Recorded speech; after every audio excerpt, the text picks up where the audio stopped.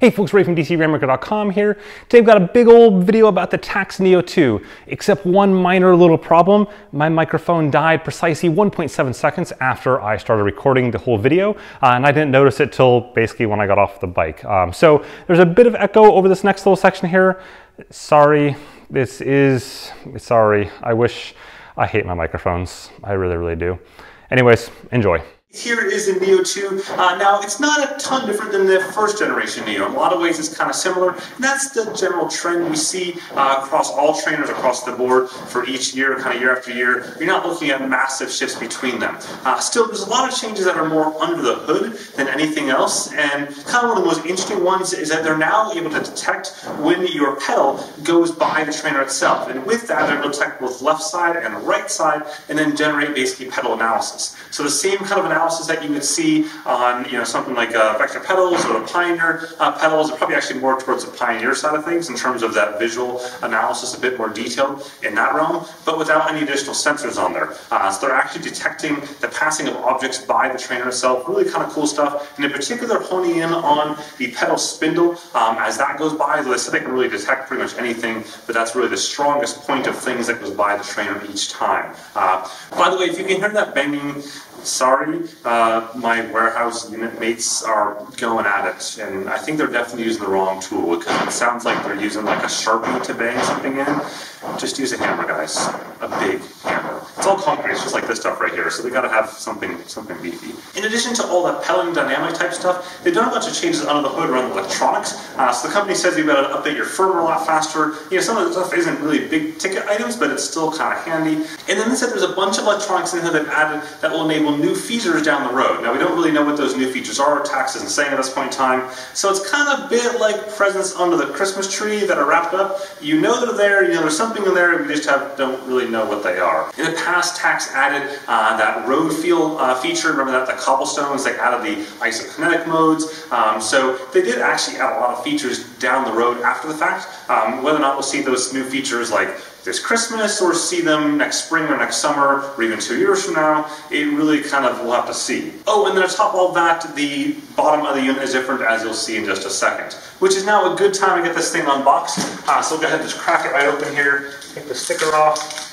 I don't know if that means they've like resealed the stickers very, very carefully after my uh, flux incident, and if this has been tested or not, we'll, we'll find out. But um, either way, it's kind of just a first look at things, and so hopefully it goes smoothly for their sake and uh, my sake, because it makes my life a lot easier when things go smoothly.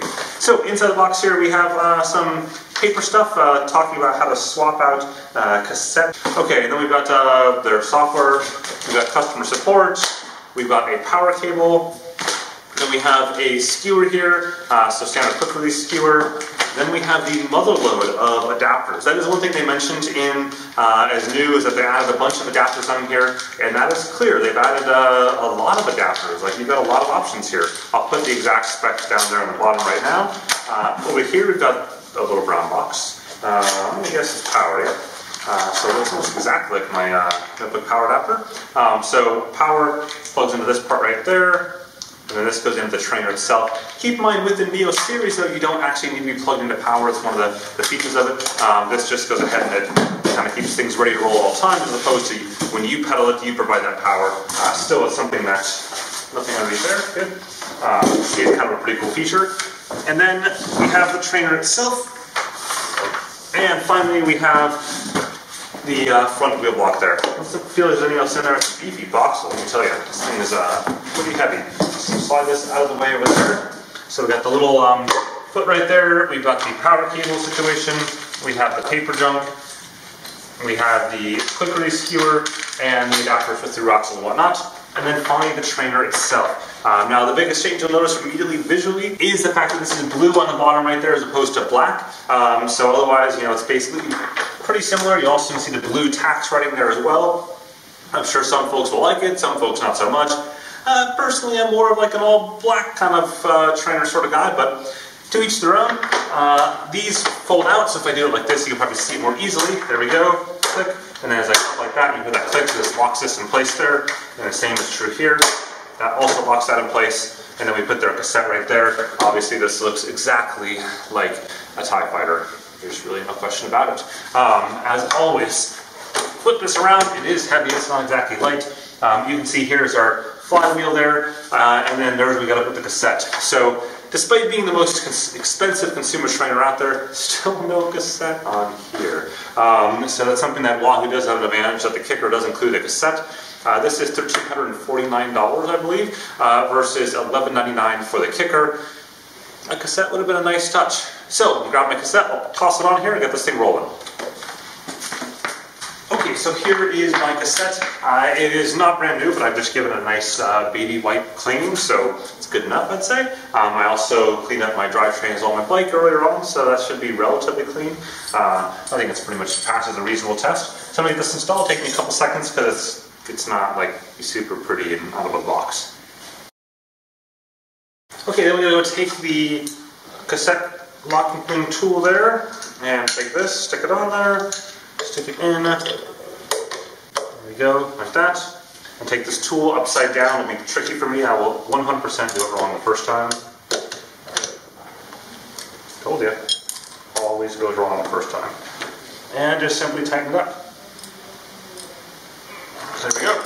You want to check that there's no play in it. Good, no play at all, so it's perfect. Uh, if there's any play, you've screwed something up. Um, it's as simple as that, to be honest. So uh, don't worry, this is actually one of the first times I've done it right without having play, so that means I'm uh, like one for a hundred or something.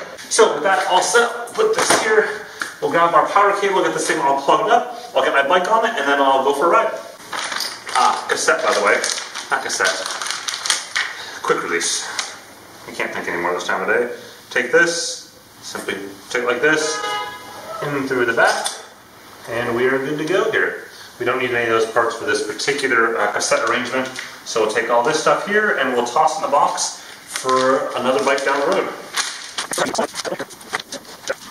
Okay, so I've got Zwift up on the screen there. I'm using my Mac because it's frankly easier to record the screen for you. You can see it up there. Um, I've just got this mirrored from there to there. So I'm going on to the power source here, and I'll select that, and you can see the Tacx Neo 2 right there. Um, you also see the PowerTap hub sitting back there, and if I were to go spin this real quick here for a second. Note the blue light goes on there at the bottom, by the way. You can see some of the other power meters here will enumerate that I have on the bike for comparison purposes. So we'll go and select the Tacx Neo 2. In this case, it's via Bluetooth Smart because I've got uh, no ANT Plus connectivity on my particular Mac right now. So if you're on a PC, you'll go ahead and you'll see ANT Plus there. Um, and if you use a ANT Plus adapter for your uh, Mac, you'll see ANT Plus as well as Bluetooth Smart. Um, you can see it went ahead and automatically added it for both control as power source, which is great. I can go to cadence here. I can find the Neo 2 right there. There we go. Click OK. I'll go to heart rate, and I'll see if it's going to find my heart rate strap. And like that, it's Bob's your uncle, we're done. It's as simple as that. The trainer does broadcast on both ANT Plus and Bluetooth Smart, ANT Plus Control, as well as Bluetooth Smart Control, ANT Plus Power Broadcasting, as well as Bluetooth Smart Power Broadcasting, and ANT Plus Speed and Cadence, as well as Bluetooth Smart Speed and Cadence. It's basically all you can want from that standpoint. In this case, I'm to go ahead and choose my route. We'll go with the figure eight. I really wish you could hear well my warehouse mates across the thing. They're actually opera singers, which is really funny because these guys sell beer for a living. Like literally, they sell alcohol to bars, and they are blasting out like Bocelli style right now. Um, so we'll go ahead and uh, jump on things here and get the spin. I've got the Garmins here to go ahead and be able to kind of listen to or uh, record all the uh, power accuracy data that I'll show you in a little bit. And that's ready to go. There is zero calibration required or even possible on the Neo. It's one of the things a lot of people love on it. You just rock and roll. So go ahead click the start button. There we go. And off we go.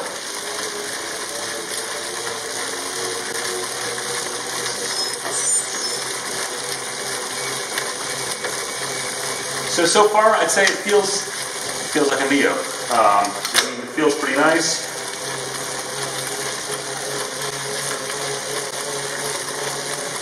Power accuracy wise, let's take a quick look at this. They're within uh, 3 watts of each other right now, so not too shabby. We'll do a little sprinter coming up the line.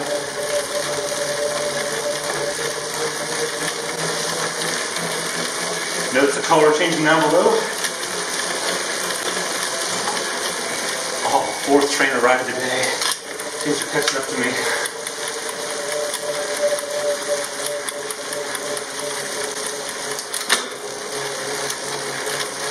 So we're going to spin around for a little while here and uh, we'll see how things roll.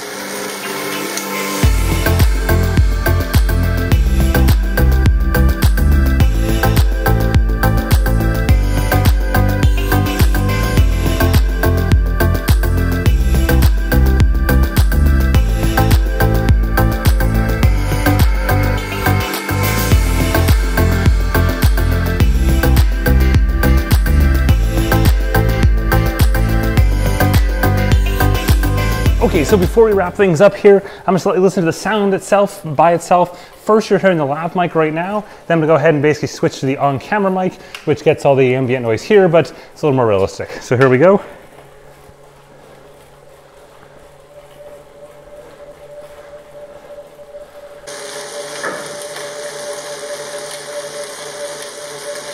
Now, of course, keep in mind this does kind of take into account my drivetrain, how clean it is.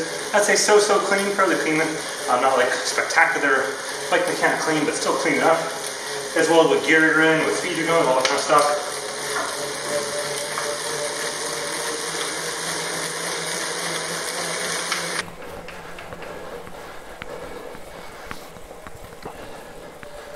So let's go and check out the power accuracy numbers and we'll wrap things up. Okay, so here's a quick look using the DCR analyzer of the uh, power accuracy from three different units, the SRM EXAKT pedals, the stages LR dual-sided, and then the Zwift broadcast over ANT Plus. Uh, now keep in mind, going into this, Tacx did warn me that on the kind of power surges or sprints, uh, that you might see some little bit of a kind of peaking going on where over commits on that, uh, and that is indeed what I see through here. They, they did say that that's something that they're fixing in the next firmware update, probably just a couple days away, so they already knew that was coming.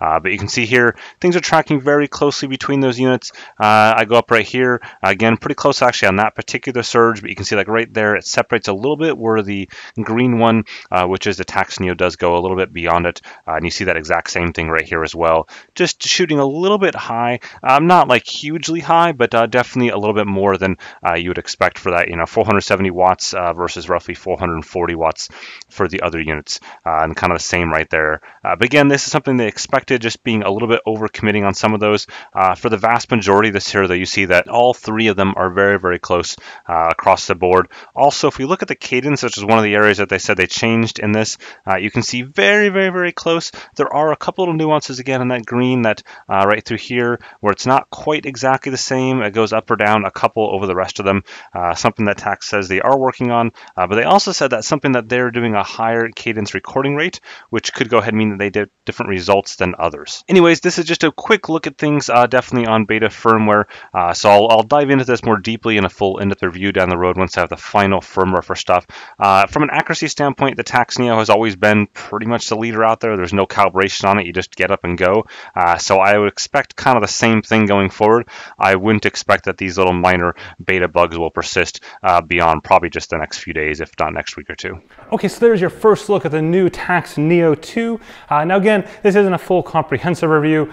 I've only had one ride on, it, a fairly short ride, uh, but still I got time to do right this second. Definitely check out later on, probably this month, uh, meaning end of November, maybe early December. I'll do a bit more, more deep dive on this, uh, as well my full in-depth review, probably down the description or whatnot there. Um, so obviously, like a lot of folks will ask whether or not it's this or the Wahoo KICKR uh, plus the uh, Climb is kind of a combination since essentially you can get the KICKR core and the climb for the same price as this. And that's a tough, that's a tough decision. Um, you know, obviously this is a brand new trainer, so we don't know if there's any sort of like kind of early manufacturing curve type stuff that may happen there. Same time, Wahoo's having their own sort of early manufacturing issues with the KICKR and the KICKR core, um, with some kind of like minor mechanical things happening to some people's units. So everyone's sort of on this initial new unit curve. Um, so I think if we set that aside for a second there and just look at like specs alone, uh, Certainly, I love the fact that the Neo doesn't have calibration, doesn't require calibration, it just works. Uh, it's typically what I would ride normally when I'm not in the middle of like trainer testing season. Um, by the same token, the core with the climb is like one of my favorite things as well. Um, so I really don't think you can go wrong either way. Uh, but still, the Neo is definitely like my general go-to trainer year round uh, when I'm not testing other things just because it simply works every single time out of the box. I'm happy with that. Anyways, if you found this interesting, whack that like button bottom there. It really helps the channel out as well as the subscribe button. If you are not subscribed, there's plenty more sports technology goodness. Uh, definitely a little more trainer stuff. I think there's some more stuff I'm gonna be able to pop out of here in the next little while, so you definitely don't wanna miss that. And of course, to general sports technology goodness all over the place. Have a good one.